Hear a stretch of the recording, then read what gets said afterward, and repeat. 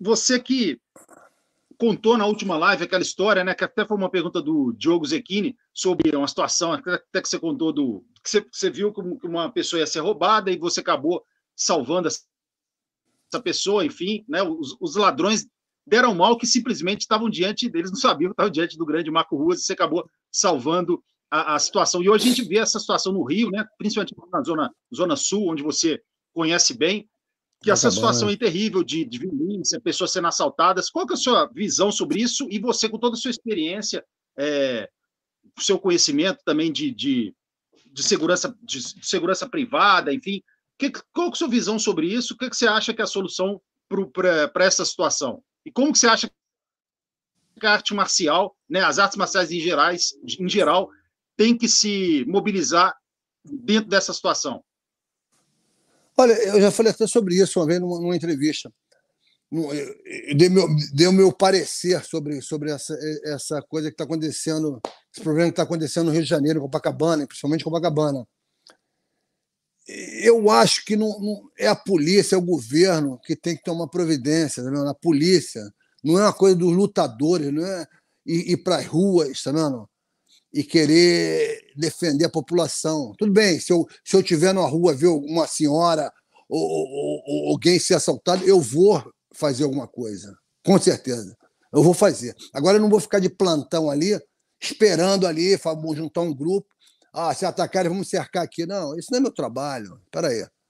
E se você assustar falando isso, ah, os caras vão vir armados, pode acontecer um acidente. Ah, tem um montão de lutadores ali em Copacabana agora querendo defender a população. Vai vir alguém armado, vai, alguém vai, vai dar um tiro. Tá é, é um negócio perigoso.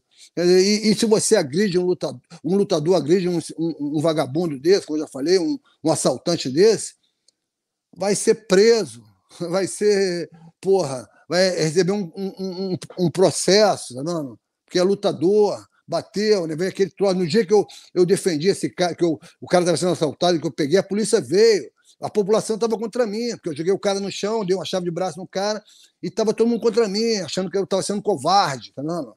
E não sabia que o cara tinha feito, tá vendo? Quer dizer, que o cara correu ali do Leme, foi, eu fui pegar ele lá no Lido, tá vendo? Não, não, ele correu e eu peguei ele, derrubei e peguei, cara. Quer dizer, então a população estava contra mim. Então, é, ah, direitos humanos, esse troço todo, então é meio perigoso. Acho que a polícia tem que tomar providência disso, mano. Não, não lutadores, mano. Eu acho, porra, vai cercar ali, ficar agora com de plantão. Ah, vamos passar aqui, vamos ficar aqui fazendo. Não, acho que não é por aí. Eu não concordo com isso. Lógico, eh, eu também não concordo em você, a pessoa ser assaltada e ninguém fazer nada. Ver a pessoa sendo é, é, derrubada, levando um soco e ninguém faz nada, fica olhando não fazem nada. Mano, né? Eu acho que eu faria, mano? Acho que é isso que a arte marcial te dá também, mano? Te dá esse, essa, essa chance de você saber, essa confiança de saber, se vê uma situação dessa, você saber como, como agir, tá, mano? Mas é, às vezes você, a pessoa não faz nada que é, é uma pessoa leiga também, que não tá, nunca brigou, nunca, nunca fez uma, uma, uma arte marcial, tá, mano? Não quer se meter. Eu vi um cara se meter, querer defender uma senhora, foi agredido chutado, sabe? e ninguém fez nada. Sabe? E às vezes tem que tomar cuidado, porque às vezes né, um é dois, três, e um, e um tá fazendo cobertura, tá armado, sabe? ou tá com uma faca e vem por trás. Dizer, então o cara tem que estar tá atento no Brasil, tem que estar tá atento a tudo. Então, quando eu morava no Brasil, é, é, eu ensinava minhas filhas, minha esposa, como agir, como andar. Você não pode estar de bobeira. Isso que é, é, é o triste, tá vendo? Do Brasil é isso.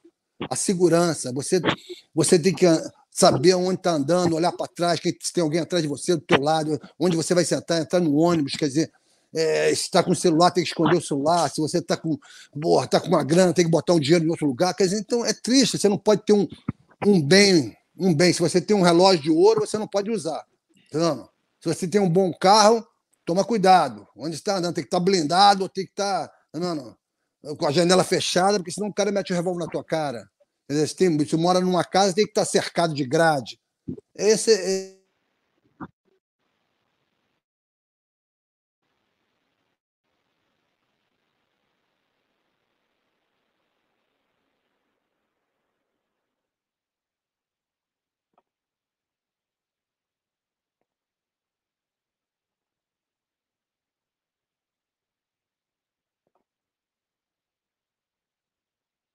Mestre, você está sem, você tá sem áudio, mestre.